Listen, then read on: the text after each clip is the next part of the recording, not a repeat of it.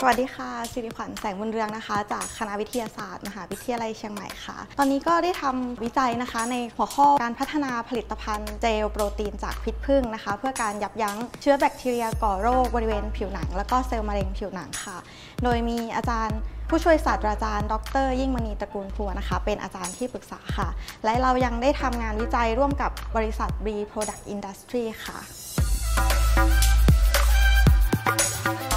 จากปัญหาในปัจจุบันนะคะ ก็จะพบว่าการติดเชื้อบริเวณผิวหนังเนี่ยเพิ่มมากขึ้นนะคะ แล้วก็จะพบว่ามีเชื้อแบคทีเรีย ที่เกิดการดื้อต่อยาที่ใช้นะคะ ซึ่งก็จะเป็นสารเคมี ซึ่งเป็นยาปฏิชีวนะนะคะ เพิ่มมากขึ้นในปัจจุบันนะคะ แล้วการใช้ยาที่ที่เป็นเคมีบำบัดเนี่ยนะคะก็จะทำให้มีอาการข้างเคียงนะคะ แล้วก็มีอาการแพ้กับผู้ที่ใช้นะคะ ดังนั้นงานวิจัยของเราก็เลยมองไปถึงสารธรรมชาติจากผึ้งนะคะ ซึ่งก็คือพิษผึ้งค่ะ ในการที่จะนำมาใช้ประโยชน์นะคะ ในการยับยั้งเชื้อแบคทีเรียก่อโรคผิวหนัง แล้วก็ยับยั้งเซลล์มะเร็งผิวหนังด้วยนะคะ พิษผึ้งเนี่ยก็เป็นสารจากธรรมชาติ ซึ่งก็พบว่าพิษผึ้งเนี่ยมีประวัติในการที่ใช้ในการบำบัดโรคหลายชนิดมายาวนานแล้วอะค่ะ ทีนี้เราก็สนใจศึกษาตัวพิษผึ้งเนี่ยค่ะ เราเลยมุ่งที่จะสนใจศึกษาโปรตีนที่เป็นองค์ประกอบในนั้นที่เป็นตัวออกฤทธิ์สำคัญ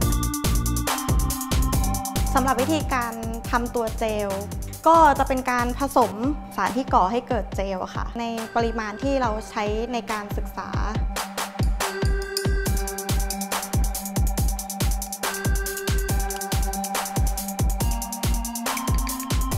ในเบื้องต้นก็นำไปทดสอบกับอาสาสมัครค่ะ ก็พบว่าโปรตีนตัวนี้มีฤทธิ์ในการฆ่าเชื้อแบคทีเรียอย่างรวดเร็วค่ะ โดยสำหรับเชื้อ Staphylococcus aureus เนี่ย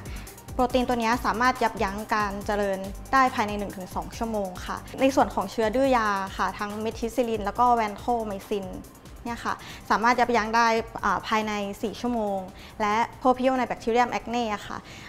ที่ก่อให้เกิดโรคสิวเนี่ยสามารถที่จะยับยั้งเชื้อตัวนี้ได้ภายในระยะเวลา 12 ชั่วโมง ถ้างานวิจัยนี้ได้ผลดีไปในเชิงลึกเนี่ยก็คิดว่าเราสามารถที่จะนำมาใช้นะคะเป็นสารธรรมชาติชนิดหนึ่งนะคะที่อยาจจะใช้ร่วมกับเคมีบำบัด ซึ่งอาจจะลดปริมาณการใช้เคมีบำบัดลงทำให้ความเป็นพิษที่จะเกิดจากเคมีบำบัดต่อผู้ที่เป็นมะเร็งเนี่ยลดลงได้